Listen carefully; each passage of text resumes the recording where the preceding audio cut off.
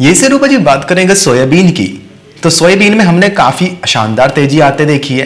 तेज़ी के बाद ऊपरी स्तर से प्रॉफिट बुकिंग भी बनते देखी है और बारी बारी से फ़सलें भी खराब होती देखी है। ऐसे में आपको क्या लगता है, जिस हिसाब से हमने सोयाबीन में अड़सठ सौ के बाद तिरसठ सौ तक लेवल्स जाते हुए देखे हैं, फिर वहाँ से एक खरीदारी बनी, जो कि हफ़्ते के आखिरी कारोबार दिन पैंसठ सौ तक गई थी।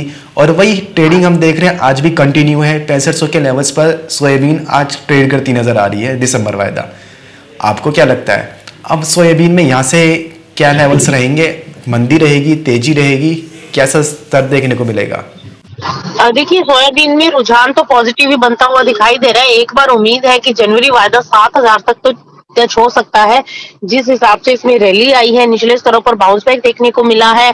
और अभी देखो एक्सपायरी की वजह से थोड़ा सा मार्केट नीचे जा सकता है। जनवरी वायदा चौसठ सौ, तिरसठ सौ अस्सी तक लुढ़क सकता है, लेकिन ओवरऑल ट्रेंड पॉजिटिव है। एक्सपेक्टेड है कि अड़सठ सौ से लेकर सात हज़ार का स्तर जनवरी वायदा में देखने को मिल सकता है। जम्मू कश्मीर से कन्याकुमारी तक, अहमदाबाद से अगरतला तक।